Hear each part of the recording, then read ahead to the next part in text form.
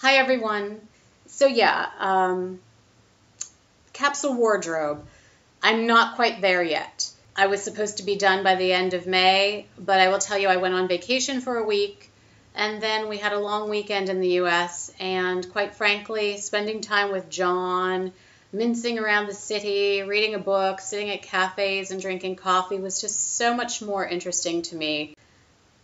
But my goal really is to get into that closet. When I open my closet at present, there are two things that I notice right away. With the exception of a few items, everything in my closet is a neutral. It is either black, brown, olive green, or some kind of creamy oatmeal shade. That kind of makes me sad. I know that neutrals are sort of the basic staple building block pieces of a wardrobe. But for me personally, I would like a little bit of color and a little bit of pizzazz. Some of the pieces I like the cut, the shape, the color doesn't really speak to me. I wanted to show you what I meant about that sort of creaminess in my closet. So you see I'm wearing an oatmeal colored cardigan and then I have this kind of cream.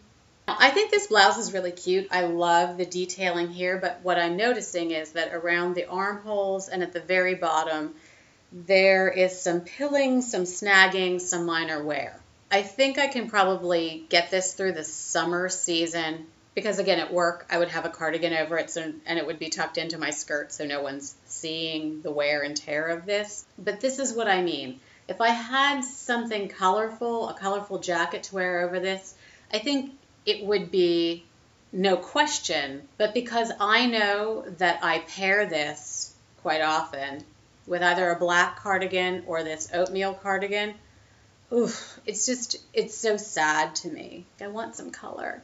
So moving along, this has a bit of color. It's gold. I love this detailing, but the last time I wore this was to a wedding, maybe three years ago.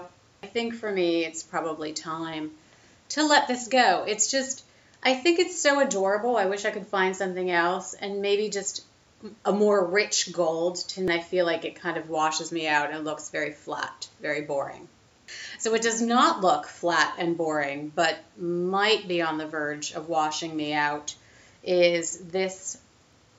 Now, this camisole is very close to a color that I love, looks wonderful on me, but it's just not exactly the right shade. But this is a prime example of one of those things where if I decide that it doesn't wash me out, I'll keep it because it's a functional underpinning. Like I would wear it with this oatmeal color cardigan and it would add some zest to the outfit. And I just bought this a few months ago, probably back in March, and I paid $5 for it. I don't want to say that I think I got my money's worth, but I would be ready to part with it. There's no missing this. This is something that I bought under pressure.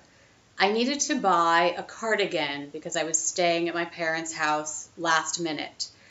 This is close to a color that I would wear, and it was on the sale rack for $5, so I thought, all right, I'll get it. And I've worn it, and I like that it's colorful, but it's just not the right color for me, so I don't feel comfortable in it. Now, the oatmeal, the same thing and at least I feel comfortable in the oatmeal. I mean, it might not be exciting and it might not spark my joy, but it doesn't make me feel uncomfortable or that it is like a, a, loud beacon saying that I'm working on a roadside, please don't run me over.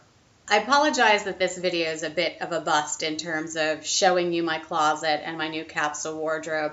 We all need to recognize that uh, this is an evolutionary process. It is a process, and that there's no right answer. I think what we need to be looking at is do the items in my closet tell the story of who I am? So while this video was a bit of a bust, I do promise you I will be back I will show you what's happening in my closet and I will show you what's happening as far as a capsule wardrobe. Thank you very much for watching.